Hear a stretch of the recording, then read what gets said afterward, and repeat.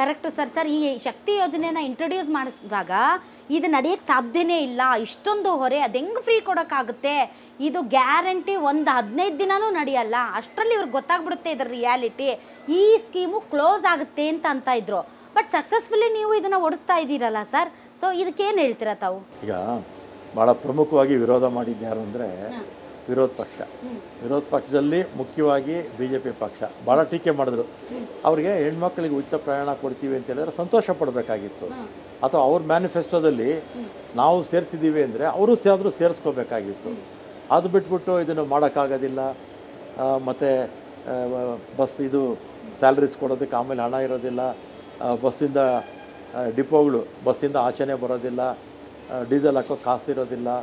ಈ ತರ ಎಲ್ಲ ಟೀಕೆ ಮಾಡ್ತಾ ಇದ್ರು. ಅದನ್ನ ನಮ್ಮ ಸರ್ಕಾರ ನಾವು ಚಾಲೆಂಜ್ ಸರಿಯಾಗಿ ಸಂಬಳ ಕೊಡ್ತಾ ಇದ್ದೀರಾ ಸರ್ ಸಾರಿಗೆ ಇಲಾಖೆಗೆ? ಸಮಯಕ್ಕೆ ಸರಿಯಾಗಿ ಹಿಂದೆ ಅವ್ರು ನಾಲ್ಕು ವರ್ಷ ಇದ್ರಲ್ಲ ಅವ್ರಿಗಿಂತಲೂ ಬೇಗ ಕರೆಕ್ಟಾಗಿ ನಾವು ಎಷ್ಟನೇ ತಾರೀಕು ಒಳಗಡೆ ಸಂಬಳ ಹಾಕ್ಬಿಡ್ತೀರಿ sir?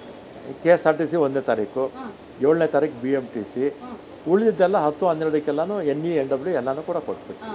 ಅಲ್ಲ ಸರ್ ಒಂದೊಂದು ಒಂದು ಕಾಲ ಇತ್ತು ಯಾಕಂದ್ರೆ ನಿಮಗೆ ಗೊತ್ತಿರೋ ಹಾಗೆ ನಾನು ಈ ಪ್ರೊಫೆಷನಲ್ಲಿ ಭಾಳ ವರ್ಷಗಳಿಂದ ಇದ್ದೀನಿ.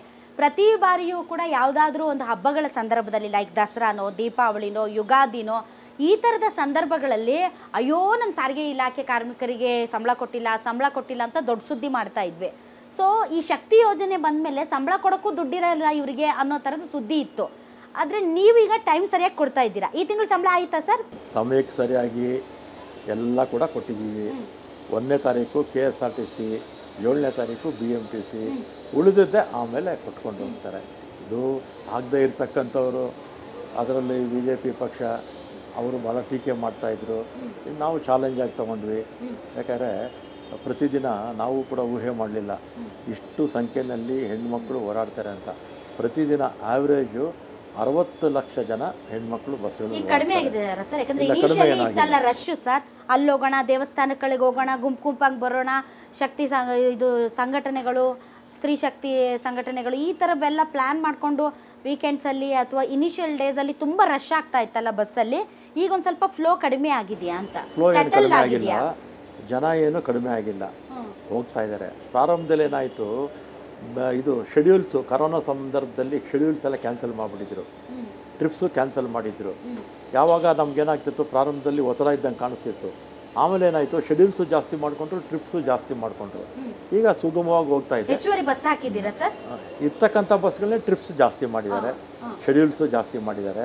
ಆಮೇಲೆ ನಮ್ಮಲ್ಲಿ ಇನ್ನೊಂದು ಏನಾಗಿದೆ ಅಂದರೆ ಎರಡು ಸಾವಿರದ ಹದಿನಾರರಲ್ಲಿ ರಿಕ್ರೂಟ್ಮೆಂಟ್ ಮಾಡಿದ್ದು.